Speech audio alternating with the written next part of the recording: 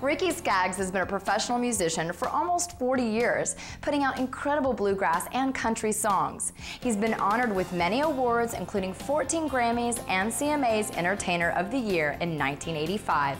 With that experience and success, he's free to put out the kind of music that means the most to him. Kelly Lynn caught up with him at his latest release party right here in Nashville for Mosaic.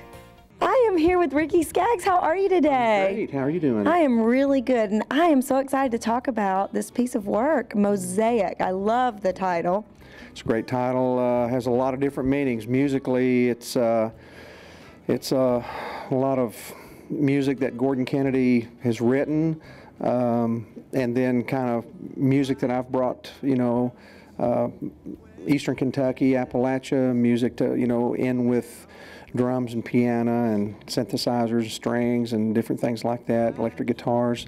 Kind of almost more like my early country stuff back in the 80s, you know, more of a, of a, full band sound like that, not, not necessarily my bluegrass stuff that I've done over the last 15 years. But, you know, Mosaic is also just a, you know, we're all a little piece of, uh, you know, of the mosaic that, that makes up a picture of God as a, as a Christian. We're all just little small pieces, you know, that hopefully make up a picture of His love and His goodness. And uh, so it has a lot of different meanings. It was plus there was a song called Mosaic on the record, and it just it made sense to call it that. No, I can't shake Talk a little bit about because you worked with a Grammy award-winning producer on mm -hmm. this. Yeah, yeah, Gordon, Gordon Kennedy. He's uh, he's a great uh, he's a great songwriter. I mean, he uh, he's a great musician as well, and a son of Jerry Kennedy, which was a another great producer here in Nashville back in the late 50s through the seven, mid 70s, uh, early 80s. Uh, used to run uh, he ran Mercury Records for many years. Jerry Kennedy did, and actually we got Mr. Jerry out of retirement and had him come in and play on this record oh, cool. on one song. So anyway. Gordon is, uh, you know, great celebrated songwriter. Worked with Peter Frampton for the last 11 years. Uh, produced a, a, Grammy Award-winning record on him here recently, and Peter actually came in and played a uh, played a, a, solo on uh, on this song called "My Cup Runneth Over," which is another song from the record.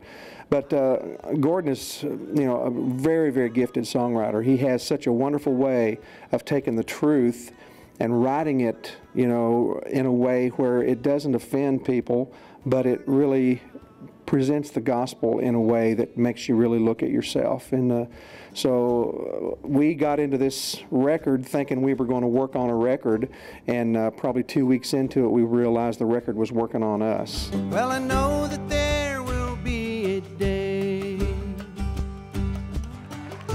the Lord will have me fly away. So, Gordon, what a wonderful piece of work you've done. And, and you wrote 12 of these songs? 13, 13 all 13? Yeah. Talk a little bit about your most special or the one that means the most to you.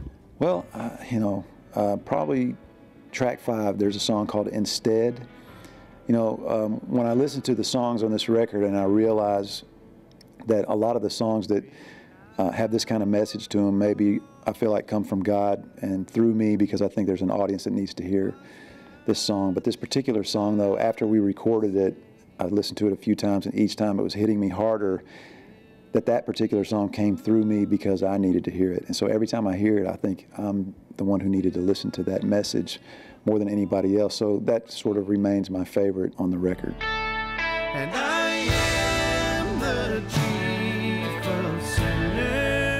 Are you performing a lot live and doing a lot of festivals or? Well, we you know we're we're currently out playing our bluegrass shows, you know, with Kentucky Thunder, my band, and uh, but we we do want to do a tour where we can really put together, or, you know, the music that's on this record. We, you know, take a drummer out on the road and a piano player, and you know, and uh, and of course Gordon wants to come out as well, and we're going to let him.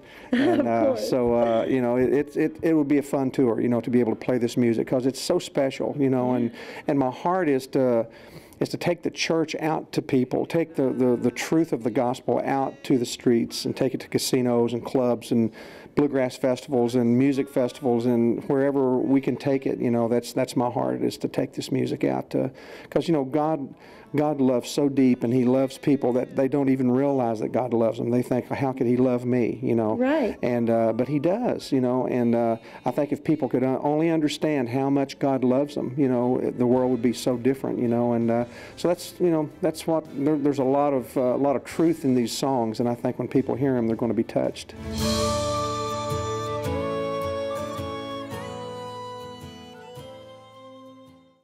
After recording more than 30 studio albums, Ricky is still out to show the world that country rocks but bluegrass rules.